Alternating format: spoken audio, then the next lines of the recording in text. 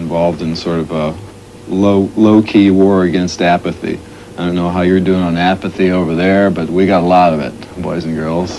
A lot of what we do is designed to annoy people to the point where they might just for a second question enough of their environment to do something about it. You know. As long as they don't feel their environment and they don't worry about it, they're not going to do anything to change it. And something's got to be done before America scarfs up the world and shits on it.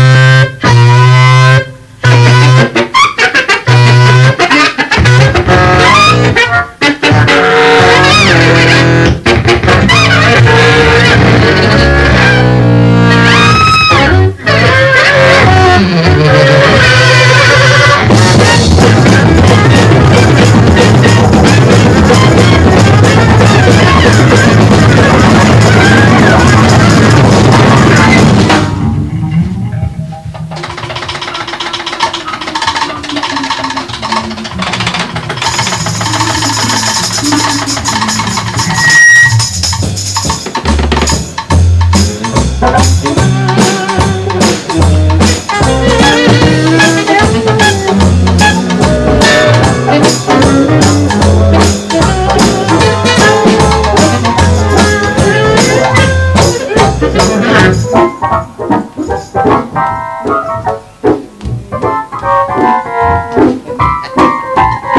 evening of warm, intimate musical entertainment.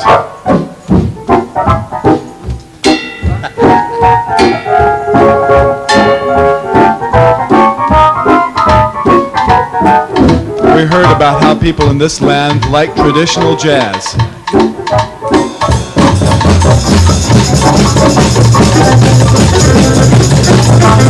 And this is sort of a nifty little number with a lilt, a little lift, a little swing to it.